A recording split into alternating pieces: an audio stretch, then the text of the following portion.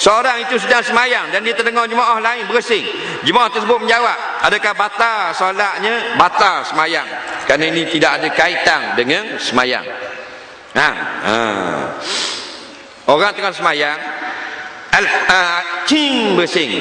Maka yang bersing kata alhamdulillah. Hak tengah semayang, yarhamukallah. Batal kata setengah ulama fiqh. Neh. Ha. Kerana dia tidak ada kaitan dengan semayang. Yang ada kaitan tak ada masalah. Macam subhanallah tegur orang yang silap. Tu imam silap. Semayang subuh naik rakaat tiga. Makmum pun tegur subhanallah. Tak ada masalah lah. Faham? Tegur. Kerana ada kaitan dengan semayang. Ya? Masalah subhanallah ada niat ada dua kau. Yang pertama perlu kepada niat kerana khitab sesama manusia. Yang kedua tak perlu kepada niat kerana itu perintah agama. Ha.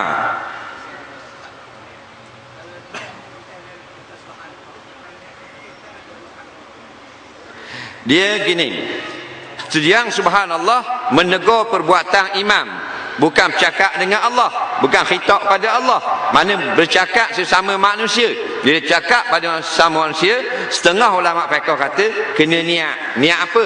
Niat zikir boleh niat menegur imam pun boleh. Faham? Yang kedua mengatakan tak payah niat. Kerana perintah ini perintah Rasulullah.